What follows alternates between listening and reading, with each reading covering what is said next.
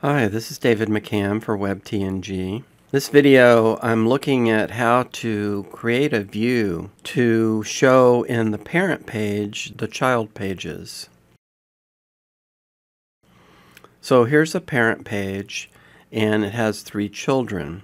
And the way that's set up is pages have an option to be hierarchical. So here's the parent page, what you need to know. And now when you go over to the first thing you need to know, it has the parent set and its order of one.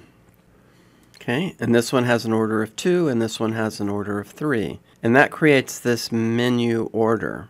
Okay, so in this page, what we're going to do is we're going to create a toolset view and then we're going to embed it under here. And the toolset view will show the other three pages. So let's go to toolset views, add new, display all results, show child pages. Okay, so here now, what post type are we doing? Pages.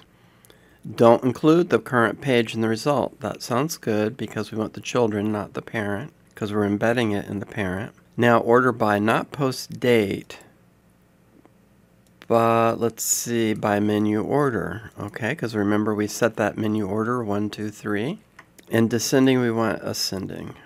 Okay, so I don't think we need a secondary sort. And then we're going to need a filter to tell it that we don't want all pages, we just want ones that are children of what do you need to know. So let's add a filter. We're going to filter by post parent. Pretty cool that toolset has that option, huh? Okay. And then we can do some more settings. So the parent is the page where the view is being shown. That's what we want. So let's save that. Okay, and then we go down here to the loop wizard, and I'm just going to say unformatted, and select the fields to show. So I'm going to show the post title, and then the content, post body. You could add other fields if you need them. Let's edit this with the block editor.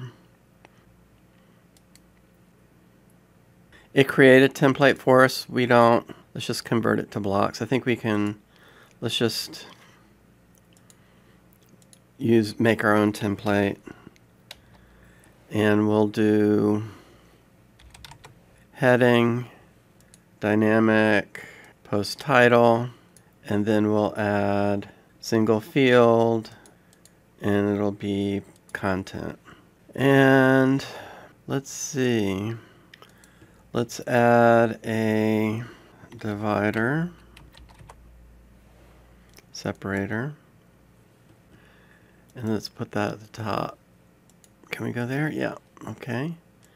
So we'll update. Okay, now let's go to our page.